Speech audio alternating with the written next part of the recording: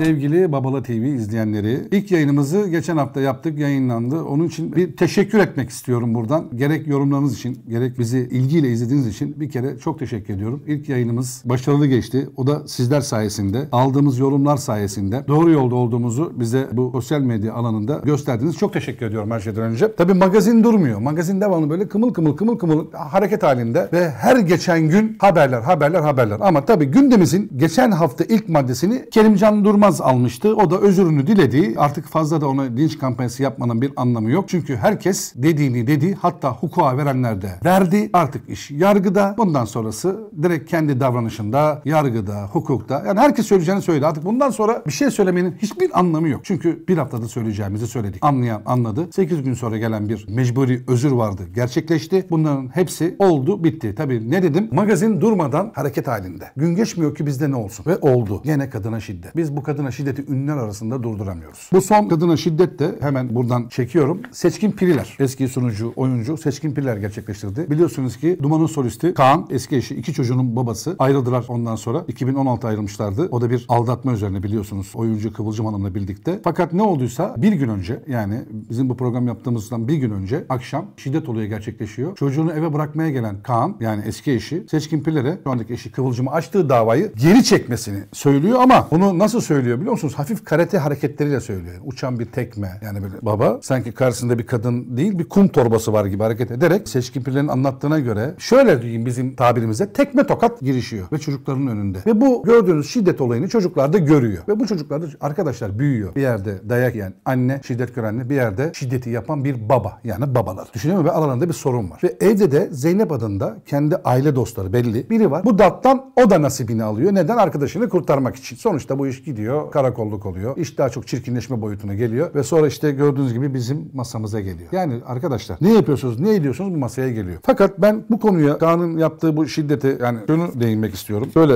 anlatmak istiyorum. Tamam Kaan Tangöz'e bu şiddeti gerçekleştirdi. Yani bizim ısrarla kadına şiddeti uygulamayın. Ünlü olun, ünsüz olun, ne olursa olsun kadına şiddet olmaz. Çünkü bir şekilde erkeğin gücü kadından üstün. Bunu kadına karşı kullanmayın diye defalarca söyledik. Ama hala da söylemeye devam ediyoruz. Benim şaşırdığım nokta iki gün geçti. Takriben işte hemen hemen iki gün diyeyim ben. Bu iki gün içinde Sıla'yla Ahmet Kural şiddet olayında ki karşılıklı birbirlerine şiddet uyguladıklarında Ahmet Kural'a karşı olan tüm feministleri ben yani TT yaptılar biliyorsunuz ki sosyal medyada. TT oldular biliyorsun değil mi Yavuz? Yani büyük infial yarattı yani. Fakat gel gelelim seçkin pirlerde böyle bir şey olmadı. Yani orada şiddet gören kadın, kadında burada şiddet gören kim? Hani neredesiniz? Burada da sesinizi yükseltin. Üstelik burada çocuklarının yanında dayak yiyen bir anne var. Darp gören, darp raporu alan, durumun buraya kadar gelen bir anne. Bir travma yaşamış kadın yani anlatıyor yani ve bunu da çok da enteresan bir şey var. Bunu daha önceden de yaşamış biliyor musunuz? Açıklamasını çok güzel. Ben daha önce de beni Kaan dövdü diyor. Fakat rock yıldızı çok ünlü biri olduğu için hani medyaya düşmeyelim diye sustum, içime attım, sineye çektim diyor neyse. Ama artık ayrıldıkları için, boşandıkları için sadece ve sadece çocuklarının babası olduğu için bu onu dava etmeyecek anlamına gelmez. Yani kadına şiddet ben anladığım kadarıyla yani bugün de bitmeyecek, yarın da bitmeyecek. Yani biz burada ne kadar konuşursak konuşalım. Bu iş ne kadar çok azaltmaya da çalışsak. Fakat gün geçmiyor ki daha haberi soğumadan Sıla Ahmet Kural'ın daha biliyorsunuz güncel yeni dava sonuçlandı. İşte Ahmet Kural'ın aldığı cezaları biliyorsunuz filan. Daha çok soğumadan hemen arkasından yine topluma mal olmuş. Yani diyoruz ki siz topluma mal olmuş kişilersiniz. Yani mal olmuş. Sizi takip edenler var. Tangöze, Kaan Tangöze, Seçkin Piriler. iki çocuk. Sonra bir de şunu söylüyor. Ben anlamıyorum Kaan Bey. Ben çocuklarımın annesinden velayetini alacağım. Böyle mi alacağım? Yani velayeti böyle mi alacaksın? Bu çocuklar o kavgayı, o tekme tokat annenin atılan dayağı gördükten sonra sana mı gelecekler? Ben her şeyden şunu söylüyorum. Senin şimdiki eşin Kıvılcım bu iki çocuğa analık mı yapacak? Yani sen yapacağına inanıyorsun. Bütün her şey güzel. Gidiyorsun diyorsun ki devletten ben çocuklarımın velayetini istiyorum. Bu mu? Ya biraz kendinize gelin ya. ya biraz kendinize gelin kardeşim. Ya sen lafla anlatamıyor musun? Lafla anlatamadığını şiddetle halledebiliyor musun? Daha yeni önünüzde bir örnek var. Söylüyoruz. Sıla Ahmet Kural. İşte bak nereye geldi iş? Davalar. Her ikisinin de işlerine çok Sıla etkilenmedi ama bir şekilde Ahmet Kural etkilendi. Neden? O sosyal medyaya sallayan kadınlarımız yok mu? Doğruydu. E bu doğrunun yanında niye durmuyorsunuz? O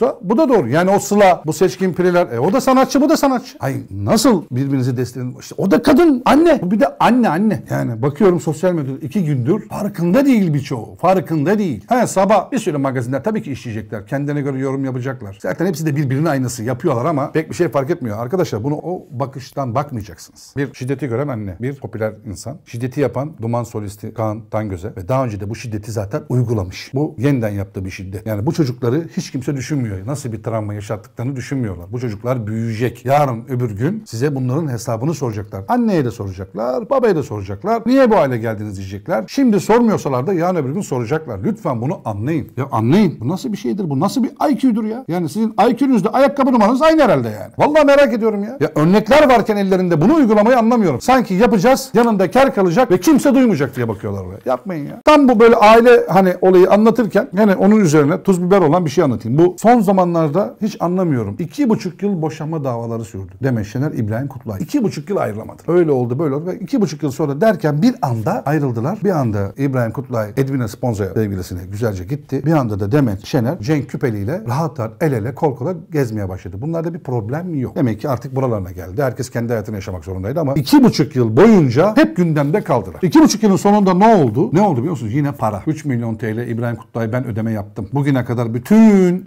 nafakalarımı ödedim. En son nafakayı 15'inde ödeyeceğime 18 Nisan'da ödedim. Yani 3 gün gecikmiş. Demet Şener tarafı ne yapmış? Anında icra takibi başlatmış. Evle ilgili 10 yıl kalma hakkım var. Aile hiçbir şey başlatmadı demiş. Bunları niye anlatıyorum biliyor musunuz? E, iki- burada da var çocuklar. E, bunlar da birisi annesi, birisi babası. İkisi birbirini yiyor. İkisinin de beraber olduğu kişiler var. Ya bu çocukların büyüyeceğini herhalde hiç kimse tahmin etmiyor arkadaşlar. Bakın yarın bir gün sosyal medya bu çocuklar kullanacak. Hepsi bunlar sosyal medyada arşivleniyor. Bu çocuklar geldikleri zaman 15 yaşına, 16, 17, 18 okulları, lise, üniversite çağına geldiklerinde annelerinin ve babalarının zamanında yaptıkları bütün her şeyi orada tekrar tekrar görecekler, okuyacaklar. Hatta karşılarına bile getirilebilir. Peki bunu kim yapıyor? Bunları. Bu gördüğün haberleri kim yapıyor? Söyleyeyim. Kendileri yapıyorlar işte. Yazık. Bakın gazetelerde. Bakın hem haciz hem çocukların babasına uzaklaştırma koymuş. Bu nasıl bir şey? Yani üstelik de ortada bir darp yok. Bir şiddet yok. Yani İbrahim Kutlay daha doğrusu öyle bir kültüre sahip olan biri değil. Ben hani şahsen bir gazeteci olarak öyle bir şey beklemiyorum tabii ki İbrahim Kutlay'dan ama şu var. Televizyona düştükleri konu para, nafaka, tazminat. Yani 11 yıl evli kalmışsınız. 11 yıl, 12 yıl evli, 2 yıl flört yani komple bakmayın. Koskoca 13-14 yılı konuşuyoruz. Bunun sonunda ortaya maalesef tazminatlar dökülüyor. Paralar konuşuyor. 32.500 lira iki çocuğun masrafı. Sadece iki çocuğun masrafı. Ortada ödenmiş şimdiye kadar 3 milyon TL. Evde 10 yıl oturum hakkı. 1 milyon TL daha yanılmıyorsam Demet Şener'in bir beklentisi varmış. Ve onu da istiyor. Ve bütün sonuç netice İbrahim Kutlay da haliyle çocuklarının vekaletini istiyor. Yani böyle bir karşılıklı işte vekalet alayım elim ya çocuğu almak vermek önemli değil. Çocuğu yetiştirmek, bakmak, iyi eğitim vermek anne baba sevgisini hem anneye hem de baba sevgisini uzaklaştırmamak. Ne annelerinden ne babalarından. Ayrılabilirsiniz. Evlilik nasıl haksa ayrılık da hak. Ama ortada çocuğunuz varsa kardeşim onları yazık etmek hakkına sahip değilsiniz. O çocuk babasının da sevgisine muhtaç, anasının da. Onun için yok ben bir ay uzak e, bir ay uzaklaştırma yaptın ne oldu? Ne olacak yani? Bir de ben bir şey merak ediyorum. Bununla ilgili özel bir haber yapacağım. Şimdi bu ayrılıklara bakıyorum. İşte İbrahim Kutlay dünya para yapmış. Bakıyorum en son hatırladığım ciddi paralar veren Acun Ilıcalı Şeyma Subaşı'yla olan boşanmasından çok ciddi aylık 125 bin TL ciddi bir para ödüyor. Ondan sonra ve gel gelelim Mustafa Sandal, Emine Yahoviç ki onlar bu konuda şu anda güzel götürüyorlar birbirlerine hani çirkinleşmeden son derece çocukların istedikleri zaman görüyorlar, ediyorlar. Aralarında problem yok ama baktığın zaman çok büyük paralar ödemişler. Ödeyenler kim? Hep Mustafa Sandal. İnanılmaz ciddi paralar. Acun Ilıcalı nerede tanımış Şeyma Subaşı'nı? Var mısın yok musun yarışmasında hatırlamanız lazım. Var mısın yok musun yarışmasında şimdi kız dünya turunda diyor ki var mısın yok musun? Dünyaya geziyor. Kim bu imkanları verdi? He, Demet Şener. Demet Şener İbrahim Kutlay ile evlendiğinde zirvede bir modeldi, mankendi. Para kazanıyor muydu? Tabii ki kazanıyordu. O hayatını evliliğine tercih etti ve çocukların annesi oldu. Bu konuma sokmayacağım. Ama her bir ayrılık büyük bedellere neden oluyor. Daha da çok bunun örnekleri var. Hep büyük bedeller. Yani şunu merak ediyorum. Yani her ayrılık böyle mi olmalı? Kadın kendini garantiye almalı. Erkek de büyük bedellerle ayrılmalı. Bu 3 milyon, 5 milyon. Yani olan erkeğe oluyor demiyorum. Peki şunun tersi olabilir mi? Merak ediyorum. Çok zengin bir kadın, zengin olmayan bir adam. Evliler ayrılıyorlar. Aynı tazminatı karıcığım bana ayrılıyoruz ama 10 milyon TL alırım. Şu evi de isterim. Londra'dan da bunu isterim filan. Deme hakkına sahip mi? Sahip demek. Erkeğe mubah herhalde değil mi? Kadın da ödeyebilir çünkü zengin kadın, para kadın da bu sefer. Ama buradaki ayrılıklarda şu var yani hep erkek bir bedel ödemiş. Yani erkek evet çıkmış işte Acun çıktı evet anlaşması çıktı ortaya. Ayda 125 bin TL. Çok ciddi bir rakam. Belki yani ev var işin içinde. Kadın geziyor. Çocuk Acun bakıyor. Umurunda değil. Bir tane de İtalyan sevgili yaptı kendine. Oo, kadın aslında var ya kutuyu çoktan açtırmış o. Bulmuş o zaten parayı. Yani onun için şunu merak ediyorum. Bu kadar büyük paralar kolay kazanılmıyor. Mustafa Sandal şarkıcı, besteci iyi para kazanıyorlar. Şimdi şimdi neye bağlayacağım? Kenan Doğulu, Beren Saat. Yani böyle koptu, kopacaktı. Hatta koptu, evler ayrıldı filan derken ilişkide belli bir zaten huzursuzluk olduğu belli. Ama her ilişkide huzursuzluk olduğu zaman bunu tamir edilmeyecek anlamına da gelmez. Araya insanlar girer, anneler girer, babalar girer, çok sevdikleri girer. Bir şekilde bu şeydir bu evlilik tamiridir yani arıza yapmıştı tamir edersin bunu ve yoluna devam edersin. Ayrılık sonuçta kolay bir şekilde boşanıyoruz veya ama olmasın diyor insanlar. Biz de olmasın diyoruz ayrı şekilde. Çünkü ben Beren Saat'ı da Kenan Doğulu da beğeniyorum. Yani bir çift olarak çok yakıştırıyorum. Hatta keşke bir çocuklar olsaydı bence bu ayrılık lafı çoktan raf kalkmıştı. Burada kim istiyor çocuk istemiyor bilmiyorum ama benim bildiğim kadar Beren Saat anneliği hazır. Hala babalı hazır olmayan Kenan Doğulu gibi geliyor bana. Çünkü bu işin arıza kodu da oradan error veriyor yani. Bunun neden böyle olduğunu söylüyorum. Geçenlerde bir caz konserine gitmişler. Kenan Doğulu sevgili arkadaşlarıyla 3 kişi. Tabii yanında yine eşi yok Beren Saat. Adile bizim basın, Caval arkadaşlar, paparazziler ordusu sorduğu soru klasik olacak. Yani atomu parçalak halleri yok çocukların yani bilecekleri şeyi söyleyecekler yani atomu parçalamana gerek yok. Demişler ki eşiniz yanınızda yok. Beren Hanım nerede? Evleri ayırdığınız konuşuluyor falan deyince baba da kayış kopmuş Kenan Doğulu da. Oldukça sinirlenmiş. Cevap vermemeyi tercih etmiş. Yani bir olgun davranmış yani öyle ama çok sinirlenmiş, çok gerilmiş. Ben de diyorum ki sevgili Kenancığım sen popüler bir şarkıcısın. Ünlü bir sanatçısın. Aynı şekilde eşin de öyle. Sizin fanlarınız, hayranlarınız, kitleniz her şeyinizi merak ediyor. Bunu da merak ediyor. Ama siz yani nerede bir türlü nerede duracağınızı anlayamadınız. Ya boşanabilirsiniz, ayrılabilirsiniz. Hayatlarınızı ayırabilirsiniz. Modern bir şekilde ayırabilir, dost kalabilirsiniz. Ama sevenleriniz de hayranınız diyor ki ya biz de paylaş. Biz de öğrenmek istiyoruz. Nasıl evliliğinizi paylaştınız? Gelinlikler atıldı, güller atıldı bilmem neyse artık yani. Ayrılık da normaldir diyor. Yani şunu söylemek istiyor ya bunun bir şekilde yarın öbür gün hani kokusu çıkacak diyorlar. Yani kimse sizin ayrılmanızı istemiyor. Ama görünen bir şey var ki ciddi sorun var. Çünkü bakıyorlar bir berabersiniz 5 gün yoksunuz. Bir gün berabersiniz 10 gün yoksunuz. Yani bir şeyi tamir edemiyorsunuz ya da etmeye geldiğinizde bir yerde tıkanıyorsunuz. O bir yer çok önemli. O bir yerin adı şu olabilir. Soruyorum şimdi burada Kenancığım. Beren'in çalışması olabilir mi? Beren anne olmak istiyor. Sen babalığa hazır mısın? Beren senle çok özel hayat yaşamak istiyor. Aileden kopmak, uzak bir yaşantı sergilemek istiyor. Sen bunlara hazır mısın? Gibi gibi gibi bir sürü şey. Yani sonuç itibariyle evlilik sadece iki kişiyi ilgilendirir. Çift. Sonrası teferruat. Sonrasına saygı duyarsınız. Annelere saygı duyarsınız, ziyaret edersiniz. Ayrı bir şey. Ama hayatı siz beraber yaşamak zorundasınız. Zaten bir yerden koptuysa da, hani koptuysa diye söylüyorum bunu. Onu çok öyle birleştirmekte kolay olmuyor. Ama inşallah benim bu söylediklerim, bu düşündüklerim kopma anlamı söylüyorum doğru değildir. Öyle düşünüyorum. Şimdi biz bunları konuşurken bir de güzellikler verelim sevgili Yavuz. Bizim magazinde güzellikler de oluyor. Mesela Tolga Sayışman baba oldu. Onu da Tolga'nın Almeda abezi doğdu biliyorsun ki. Tolga'nın Sayışman birebir fotokopi doğurmuş. Yani diyor ki Almeda ben diyor sanki Tolgahan doğurdum. Yani o kadar çok benziyor ki suratı, çocuk her şey maşallah. Anla alabiliyorsun. Bunlar da birbirine yakışan bir çift. Tolga'nın Sayışman, Almeda abezi. Ben birbirine çok yakıştırıyorum. Güzel de evlilikleri gidiyor ve meyvelerini aldılar. Ve çok mutlular. Şey de öyle. Fahri Evcen neydi o yakışıklı jönümüz? Burak Özçevit. Ben öyle diyorum ona. Ondan sonra. Onlar da mesela çocuklarını aldıklarında başka bir şey oluyor dünyaları. Çünkü çocuk olunca Alişan, Buse Varol mesela yeni böyle çocuk sahibi olanlar. Onda Berkay doğum bekliyor. İşte ilk çocukları var. ikinci çocuklarına gün sayıyorlar. Belki bugün ya biz burada konuşurken bile her an doğum haberi alabiliriz. Ondan çocuk havası başka. Aileye gelmesi başka. Bir anda kendi aralarında bir ufak tefek didişmeler bile olsa ufak tefek çocuk o dünyayı değiştiriyor. Anne babayı biraz daha yaklaştırıyor, kavuşturuyor. Onun için de bizim magazin dünyasında anlatıyorum öyle her zaman çok negatif şeyler. Tabii ki oluyor da yoğunluk olarak ama bakın bu çok güzel şeyler de oluyor. Allah analı babalı büyüsün. Kucağına aldığında gördüklerinde herkes diyormuş ki Tolga'nın Sayışman'ın fotokopisi oldu. Güzel bir şey. Babaya çekmiş demek ki. İnşallah onlar da analı babalı ne diyorlar? Bir ömür boyu böyle devam ederler. Biz hani Mustafa Sandal adını değiştirdim diye bak böyle bağlamalı gidiyorum. Bağlıyorum da. Mustafa Sandal'ın sevgilisini biliyorsunuz. Kendisinden 20 yaş küçük bir sevgilisi sahip.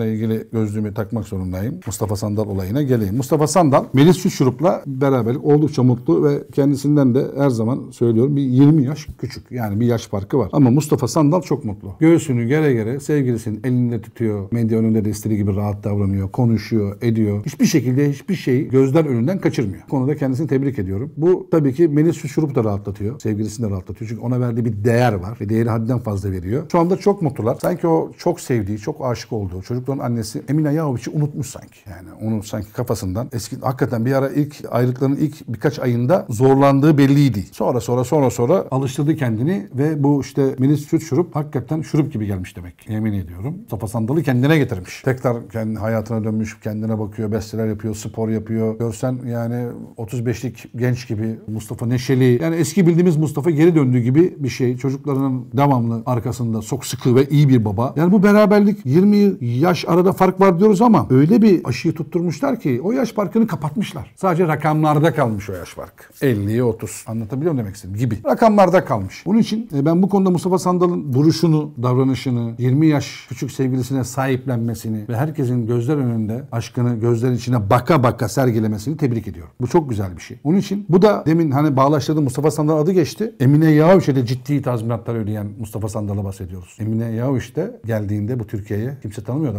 Yavuz sen tanıyor muydun? Yok abi tanım. Bakın doğruya doğru söylemek lazım. Mustafa Sandal'la Emine Yavuç oldu. Biz Mustafa Sandal'la Emine Yavuç'un bir model, bir oyuncu. Hani anlatabiliyor muyum demek istediğimi? Öyle tanıdık, bildik, ettik. Güzel miydi? Güzeldi. Biraz estetikle beraber çok da güzel oldu. Biraz dokunuş oluyor. Ya geçenlerde estetik deyince televizyon izliyorum. Yine bir magazin programı. Çok sevdiğim iki gazeteci arkadaşımın yaptığı programa. Hakan Peker konuktu. Yanılmıyorsam 56-57 yaşında olması lazım. Bir baktım sanki 30 yaşında bir genç. Kızlar dedi ki herhangi bir estetik operasyon herhangi bir şey var mı diye. Hiçbir şey yok dedi. Güldüm. Yani hiçbir şey yok. İlk önce Hakan Peker'in buna inanması lazım. Hiçbir şey yok derken. Bir aynaya bakması lazım. Ben buradan söylemek istemiyorum. Estetik olmayabilir. Botoks diye bir çağımızda herkesin kullandığı. Ben bugüne kadar kullanmadım ama kullanmaya karşı değilim. Kullanabilirim yani. Ama hiç denemedim. Denerim. Hani şu surata masraf etmeyeyim dedim yani. Onun için yani. Yoksa problem değil. Kullanabilirim yani. Karşı değilim. Yani sen de sevgili Hakan'cığım şunu çok mu zor ya? Yani biz botoks artık günümüzde herkes kullanıyor. Botoks artık bundan 20 yıl önce botoksun B'sini bilmezdik ama artık herkes kullanıyor. İşte yok kaşlarda bir şey, alın çökmesiymiş, yok yanak bilmem neymiş derken artık estetik öyle bir hale geldi ki herkes kullanıyor. Ya düne kadar biz Hollywood'u ne diye biliyorduk? Film değil mi? Dünyaya yayılan film. Şimdi Hollywood yanağı diye bir şey çıktı ya. Hollywood yanağı. Evet. Estetik doktorları bunları bir güzel uyduruyor. Bizim ülkeye getiriyorlar. Hollywood yanağı varmış. Bizim ünlüler de hatta en son bu iddialardan nasibini alan da şarkıcı Gülşen. Biliyorsun değil mi? Duymuşsundur Yavuz'um. Hollywood yanağı yaptırmış şarkıcı Gülşen. Hollywood yanağı. Yani bu ne demek o Hollywood yanağı nasıl oluyor arkadaş? Biraz böyle gamzelimiş, içe dönükmüş bir şeymiş. Yani adını da Hollywood yanağı koymuşuz. Yani oraya Hollywood'da giden oyuncular hani marangoz atölyesinden geçer gibi Hollywood yanağı atölyesinden mi geçiyorlar? Anlamadım ki ben yani. Bir de böyle abartılı dudaklar çıktı. Farkında mısın genç kızlarımız ve gençler? Bak söylüyorum. Yazık ediyorsunuz. Normal dudaklar. Gidiyorlar estetik doktorlarına. Mükemmel bir para tuzağı. Ya insan bir der ki şunu söyler. Sen hekimsin, doktorsun ya yemin ettim. Ya bu dudak sana olmaz. Sen dudağın iyi. Olması gerekene de yap. Kardeşim bunlar kapıdan her gelen içeni yapıyorlar. Yapıp silikonlayıp gönderiyorlar. Silikonlayıp gönderiyorlar. Vallahi billahi ya sen anlamadım. Sen sanki şey süt kutusu paketliyorlarmış gibi. Tık tık paketleyip paketleyip gönderiyorlar. Bakıyorsun ondan sonra yok yarın bir gün benim dudağım öyle mi oldu? Geri almaya çalışıyorsun. Geri operasyonlar arkadaşlar iyi operasyon olmuyor. Hani estetiğin geri operasyonu iyi değil. İstediğin randımanı alamıyorsun. Dudağından vazgeçmek çok kolay olmuyor. Oluyor mu? Yapıyorlar yapıyor ama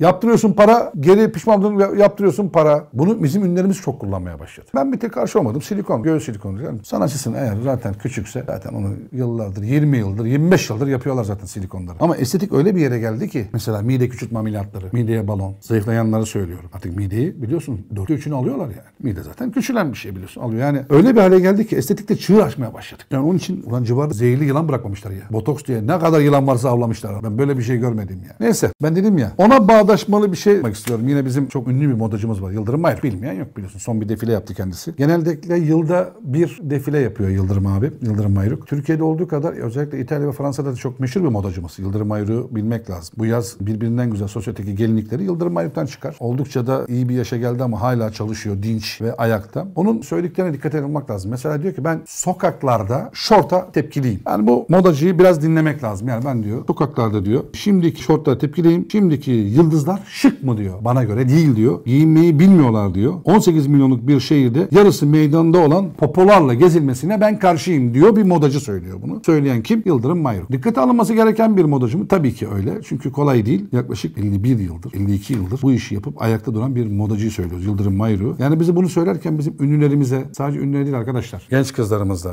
yani short anlamında. Short var, short var. O short anladınız demek istediğimi. Karşıyım. Giyinmeyi yıldızlarımız hala bilmiyor. iyi giyinemiyor diyor. Demek ki bunun da bir imaj maker'ı gerekiyor. Yani şöyle söyleyeyim. Bizim yıldızlarımız da gerçekten doğru söylüyor. Birçoğu giyinmeyi hala hala bilmiyor. İyi imaj maker lazım. İyi modacılar lazım. Bizde iyi modacılar var arkadaşlar. Bu iyi modacılara danışabilirsiniz. Çünkü bunlar dünya modasını zaten takip ediyor. Ve buna göre de modayı zaten bize sunuyorlar. Dediğim gibi de çok güzel de bir defile gerçekleştirdi. Birbirinden güzel modellerini sundu. Zaten o da 3 kişiyi çok beğeniyormuş. Yani iyi giyiniyor diyor. Türkan Şoray. Ondan sonra Bülent Ersoy, Nebahat Çehre. Onların çok iyi giyindiğini iddia etmiş kendisi. Demek ki bildiği var. Ben Türkan Şoray konusunda emin değilim ama hani Nebahat Çehre, Bülent Ersoy zaten her zaman çok güzel giyiniyor. İyi giyiniyor. Hani biraz biz o gözü gözümüzde abartı da dahil olsun. Cesur da giyiniyor. Her şekilde de giyindiğini gösteriyor. O konuda bir şey demeyeceğim yani. Şimdi güzel haberler değinirken yine bir güzel haber vereyim. Nurgül Yeşilçay artık dizilerde çok yorulduğunu belirtiyor ve tiyatroya dönmek kararı almış. Yani bundan sonra dizilerde değil de tiyatroda boy göstermek istiyor. Zaten diziler deyince de arkadaşlar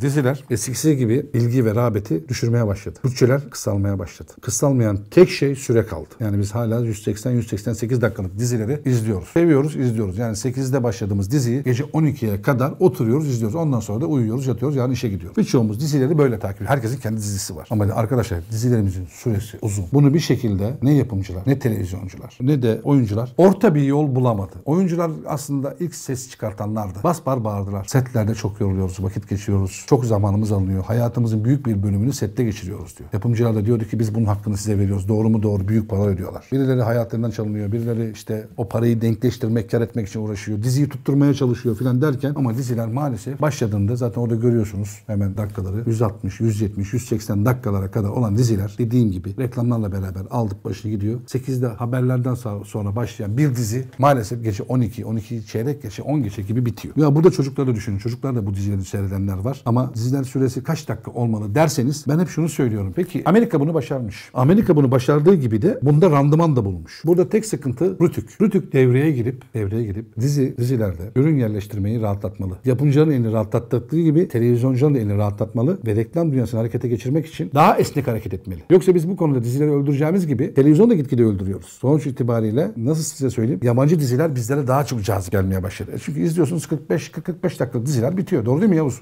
45 dakika dizi izliyorsun, merak ediyorsun, tadını alıyorsun. Diyorsun ki haftaya takip ederim diyorsun. Ama gidip 180 dakika izlemiyorsun. Oyuncularımızın yüksek ücret aldığı konusunda hem fikrim. Evet büyük paralar alıyorlar. Hani özellikle bilinen oyunculardan bahsediyorum. Ücretleri yüksek. Her birini almak kolay. Ama bizde şu da var. Bizde diziler de risk. Bakın e, birçok dizi bitiyor arkadaşlar. Birçok dizi final yapıyor. Bugün, yarın, pazartesi günü birçok dizi final yapıyor. Yani tutan diziler belli. Bakıyorsun pazartesi kimi izlenir diyorsunuz. Çukur. Salıya geliyorsun. Eşkıya Dünya Hükümler Olmaz. Doğru mu? Çarşambaya geliyorsun. Diriliş. Hepsinin günleri belli. Anlatabiliyor muyum demek istediğimi? Yani baktığınız zaman işte Fox'ta kadın o kadar çok az ki yani 5 tane dizi, 6 tane dizi zirveye oynarken e biz çekiyoruz 40 dizi haftada. E ne olacak gerisi? Büyük yatırım. 4000'den fazla çalışan işçi var orada. Emekçi var. Para kazanan var. Ekmek götüren var evine. Yani sektörümüz büyük. 140 ülke, 150 ülkeye de biz bu filmleri ihraç ediyoruz. Gönderiyoruz yani. Yurt dışına ihraç ediyoruz. E bu kadar da başarılıyken kendi kendimizin ayağına sıkmanın ne anlamı var? Onu anlatıyorum. Yani orta yolu bulacak oyuncular seslendi ama burada orta yolu bulacaklar. Özellikle televizyon. Üç ayak var burada. Yapımcılar ve Rütük. Neden Rütük diyorum? Reklama koyduğu belli sert yasakları biraz açarsa ürün yerleştirmek gibi, reklamda olan bazı sundu sunarlar gibi hani o esnemelerden bahsediyorum. An, anlamıştır ne istediğimi. O zaman eskiye döneriz. O zaman yapımcılar rahatlar. Ne bileyim o zaman der ki 180 yapacağım. Bazı bizde 60-70 yapalım bari der. Çünkü biz eskiden çünkü öyleydik. Hatırlaman lazım. Bizim eskiden dizilerimiz 60-70 dakikaydı. Sonra sonra ufak ufak 15-20 15-20 dakika koya koya koya koya buralara geldik. Ya ben onun için diyorum yani gerek yok. Yazık olmuş yani ondan söylüyorum. Şimdi bir de güzel haberlere devam ederken hemen bir özel bir haber vereyim. Yaklaşık Okan Bayülgen tahminen 2 yıldır ekranlardan uzak biliyorsunuz. Bu cumartesi dönüyor. Bu cumartesi yeni kanal var. Yeni kanal açıldı. Kanal 100 diye televizyon dünyasına bir televizyon daha katıldı. Biz televizyonlar kötüye gidiyor derken bu güzel bir şey bizim için. Yani televizyon dünyasına bir televizyon yeni bir televizyonun katılması hoş bir şey. Kanal 100 diye yeni bir televizyon yayın hayatına geçen hafta itibariyle başladı. İyi de bir kadroya sahip oldukça. Okan Bayülgen de her cumartesi akşamları, cumartesi gecesi diyeyim ben daha doğrusu. Uykusuzlar Kulübü diye bir gene bildiği işi. Yani Türkiye'nin ilk talk show oyuncularından biliyorsunuz Okan Bayülgen.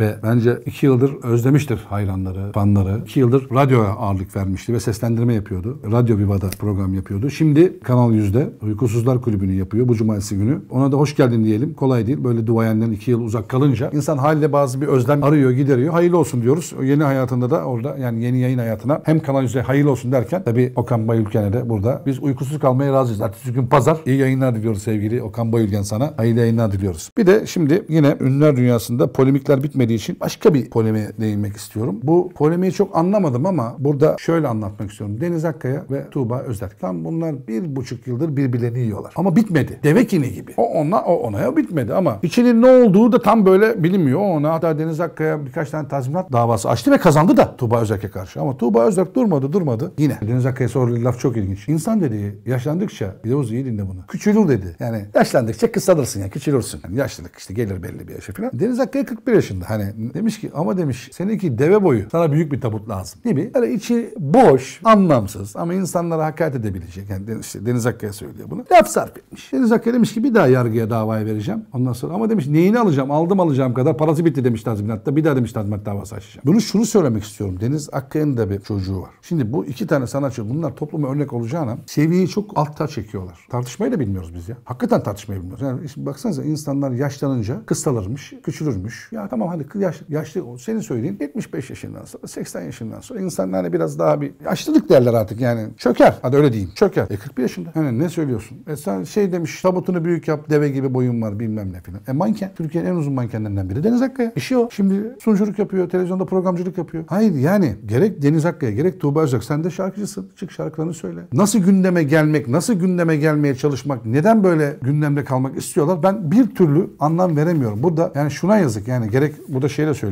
Tuğba Özerk'e de söylüyorum. Tuğba Özerk daha genç. Sonuç itibariyle senin önünde çok ciddi rakiplerin var. Sen pop sanatçısın. Bak Aleyna Tilki denen sanatçı 18 yaşında hepinizin arasından Arap atı gibi geldi, geçti, gitti. Şimdi popun kraliçesi benim diyor. Yaş 18. Bak çok genç daha. Önünde uzun yıllar var. Doğru mu kardeşim? Her yaptığıma dikkat çekerim. Her kelime dikkat çekerim. Söylediklerime dikkat çekerim. Hayran kitlem fazla. Şarkılarım güzel. Sosyal medyada en çok dinlenen sanatçı benim. Kliplerim en çok izlenen benim. Bunların hepsi doğru mu? Aleyna Tilki aldı başını gidiyor. Doğru şarkı söylüyor. Söylüyor. Çok genç. Yetişecek mi yetişecek. Müsait mi müsait. Çünkü gitar çalabiliyor. Dans edebiliyor. Şarkı söyleyebiliyor. Gençler de çok sevdi. E siz şimdi bu polemik mi? Bu polemik mi? Yani o da yanlış. Onun için ben hep şundan yanayım. Biraz daha hoşgörü. Bir de tartışma seviyesini biraz düzeltelim. Çoluk çocuklarımız var. Ekranda herkes izliyor. Bak biz sosyal medyada biz de herkes izliyor. Biz de burada her şeyi söylerken dikkat etmeliyiz. Tıpkı onlar gibi. Ünlüler, sanatçılar, şarkıcılar olsun, mankenler, modeller, oyuncular, yapımcılar, yönetmenler. Hepimiz dikkat etmeliyiz. Söylediğimiz her şey dikkate alınıyor. Onu anlatmaya çalışıyorum ama bu şeyden vazgeçmek lazım. Bel altı. Yani bu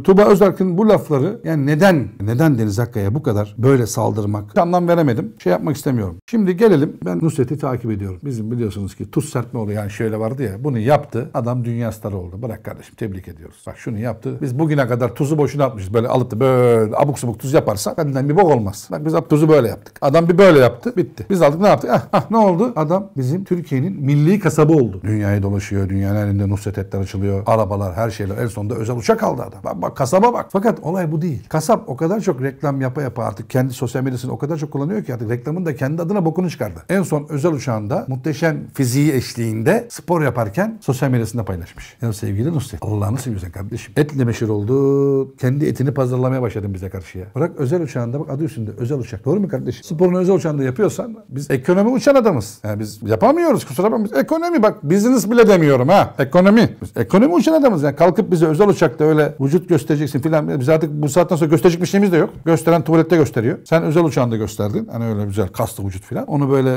şeye koyduğun zaman sosyal medyana maalesef sadece sen görmüyorsun. Herkes görüyor. Sen neyle ünlü olduysan onunla yürü. Özel uçağın senin olsun. Arabalar senin olsun. Daha çok kazan. Bak bizim milli kasabımızsın sen. Dünya starlarına et yediriyorsun. Eti bir daha yarattın ya. Gerçi ülkede çok et yok ama dikkat et yani çok tüketiyoruz. Yani kardeşim reklamın da şeyini çıkartıyoruz. Özel uçağın. Tamam babacığım biz anladık. Özel uçağın. Yarın öbür gün Ferrari'nin bagajında falan ne göstereceksin diye korkuyorum ben ya. Sevgili Nusret tamam anladık yakışıklı adamsın tamam gösteriyorsun yani. Gördük gördük. Vücut güzel tamam problem yok. Kas filan spor okey. Ama sen buna devam bak. Bak bu var ya bu güzel. Sen bununla geldin milyon. Bıdı bıdı bıdı. Öyle yap abi o etleri şey yap. O bıçakla güzel kesme biçme yapıyorsun. Güzel şovlar var. Bunlar güzel. Etini güzel kesiyorsun. Pişiriyorsun, ediyorsun, sunuyorsun, yediriyorsun. Ama özel uçağında ne yaptın? Bırak babacığım bizi ilgilendirmiyor ya. Bırak özel kalsın adı üstünde. Özel uçağın. Biz alınıyoruz bak ekonomi uçanlar alınıyor. Yapma. Biz de insanız. Yalan mı Yavuz? Lütfen yani yalansa yalan devam. Şimdi bunun üzerine yine sosyal medyayı bak tam onu bağlayacağım hemen arka Hülya Avşar'a gelelim. Kendiyle bu kadar eğlenen, sosyal medyada eğlendiğini paylaşan herhalde ender sanatçılardan biri Hülya Avşar. Bu sefer ne yapmış biliyor musunuz? Gitmiş bir zamanların çok önemli arabası hatırlar mısın Yavuz? 124 Murat. Hatırlar mısın?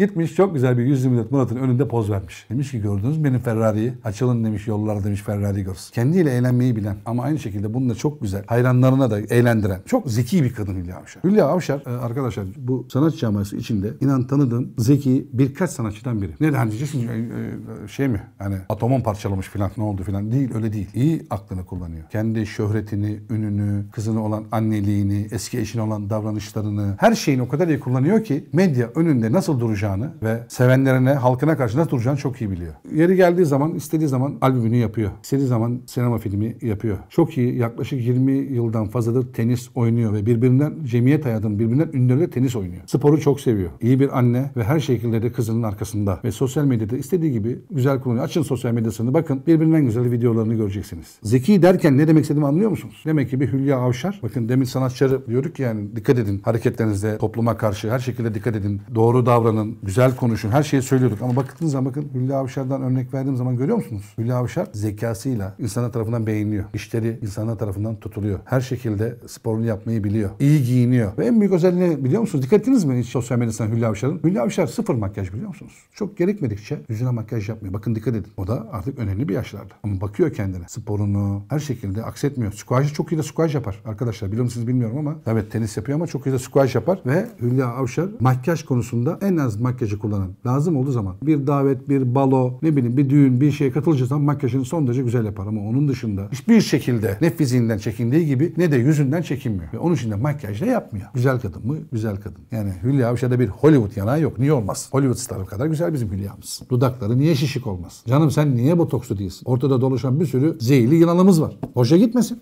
Ama ben tebrik ediyorum. Hülya Avşar'ı bu konuda hakikaten zaten beğeniyorum. Yani neden beğeniyorum? Doğru davranıyor. Doğru davranıyor ve çok iyi örnek. Bu kadar yaptığımız eleştiriler içinde en iyi örneklerden bence biri de bu. Şimdi magazin anlatıyoruz. Yine bu hani ayrılıklarla ilgili anlatırken biraz da cemiyet hayatında da ilgili bir şey söylemek istiyorum bu konuda. Yani bunu da bir atlamak istemiyorum. Hemen onu da söyleyeyim. Ben bu gözlük ne yapacağım? Ben bu gözlük şey Yavuz söyleyip ters takdırıyorum ya. Bodrum'a gidenler bilir. Orada Bodrum'da yüzen diskotek vardır. Katamaran. Giden bilir. Yavuz gittim bilmiyorum. Yok abi. O Mehmet Birgen ve Dilek Birgen ailesinindi. Onun, fakat aile 2016'da ayrıldı tabii. 2 sene önce boşandılar. 75 yaşındaki Mehmet Birgen ve kendisinden 45 yaş küçük Ukraynalı biriyle beraber. 45 yaş. ha. Yani demin Mustafa Sandal dedi ki 20 yaş küçük. Bu onun yanında anayasa profesörü gibi kalır yani. Böyle bir şey yok. Ukraynalı güzel bir kızla beraber. Tabii haliyle bu eşine sorulmuş. 3 sene önce ayrıldınız. Eşiniz Mehmet Bey de böyle bir birliktelik yaşıyor. Güzel bir cevap vermiş. Yani akıllıca bir cevap. Normal değil ama yeter ki mutlu olsun. Yani şu demek kadın ya demiş normal değil ama yani yeter ki benden uzak dursun. Aslında Türkçesi bu. Söylemek istediği bu. Yani bunu da şöyle belirteyim. Dilek Hanım iyi bir işletmeci. Akıllı bir kadın. 2,5 sene önce boşandılar Mehmet Bilgen'le. Ondan sonra tabii 45 yaş uçurum bir yaş. Yani 75 yaşta 30 yaş dediğiniz zaman e, geleceği olmayan bir beraberlik diye düşünüyorum ben. 75 ve 30 yaş olunca bu, bu, bu ilişkinin bir geleceği yok. Yani sadece Mehmet Bey bir yere kadar zinde kalır. Kız da zaten 30 yaşında. En fazla Mehmet Bey'le göreceği 35. Yani anladım ya bir şey yok. Yani ilişkinin geleceği bu. Bu kadar yani. Ne diye nasıl anlatılır? Ömrü kısa anla gibi anlatılır. Dilek Hanım da güzel bir cevap vermiş. Normal değil ama yeter ki mutlu olsun. Yani yeter ki demiş benden uzak dursun gibi bir açıklama yapmış. Onun için bu saygı duymak lazım ama yaş farkları Türk değil bir şey demiyorum. Yani Ukraynalı. Sonuç itibariyle Mehmet Bilgen iş adamı. Son derece ekonomisi yüksek, düzgün ve tabii lüks yaşayan biri. Bu lüks yaşamı da maalesef Ukraynalı kızlar seviyor. Bunu bilmeyen yok. Yani ben bunun adına diyorlar aşk diyorlar ama ben aşk diyemiyorum. Allah mutlu etsin. Yani sonuç itibariyle birbirlerini sevmişler. Biz saygı duymamak gerekiyor. Ama Dilek Hanım güzel söylemiş. Normal değil ama yeter ki mutlu olsunlar. Yani benden ne kadar uzak durursan dur demiş. Evet sevgili Babala TV izleyenleri. Dedim ya bizim ilk yayınımızda bize çok büyük destek verdiniz. Teşekkür ediyoruz. Biz buradaki yorumlarımızı sizler için yapıyoruz. Yani sizlere doğru yorumlar yaparak bilgilendirmek istiyoruz ve bundan sonra böyle olacak. Daha önce de bahsettim. Konuklarımız da olacak. Kısmetse önümüzdeki haftada karşınızda bir konum olmak istiyorum. Buradan size organik magazinci Hakan Solakar olarak sevgiler, saygılar sunuyorum. Haftaya buluşmak üzere. Babalı TV'de kalın. Magazini bizden de. Hoşçakalın.